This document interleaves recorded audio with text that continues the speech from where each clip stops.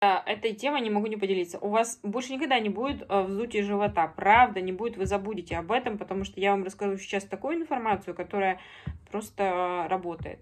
Во-первых, вздутие живота бывает при нескольких моментах. Это сибр, э, желчные проблемы, высокий холестерин, дефицит жирорастворимых витаминов при нехватке желчной и, соответственно, вздутый живот. Почему бывает? Потому что а, не хватает желчи, удаление желчного, низкожировые диеты, прием антибиотиков, высокий эстроген, высокий инсулин, кортизол.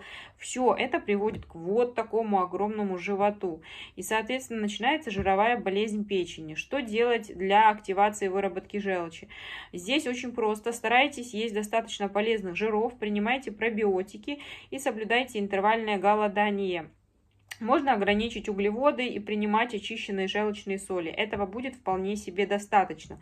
Дальше. А, я напоминаю, что если желчный заработает, вы сможете усваивать А, Д, Е, К1, К2, омега-3 жирные кислоты и выводить еще излишки холестерина. Представляете, как это а, круто работает. А, соответственно, у вас будет история, которая работает а, на внутриклеточном уровне. Пройдут СИБОР, а, синдром избыточного бактериального роста, и, соответственно, будет, будете хорошо себя чувствовать. И еще один момент.